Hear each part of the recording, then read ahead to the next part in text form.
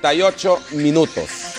Mucha atención, ha muerto una abogada en un accidente de tránsito en Olancho, de acuerdo a los datos preliminares que nos ha enviado nuestro periodista Ninro Jonathan Rubí Cecia. Y este hecho ha ocurrido en horas de la madrugada de este miércoles. Ha muerto en un accidente de tránsito la abogada Jenny Fabiola Cardona Figueroa.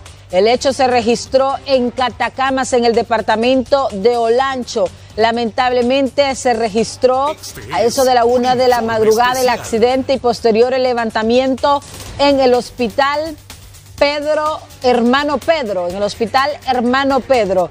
Repetimos, se trata de la abogada Jenny Jacqueline Urbina.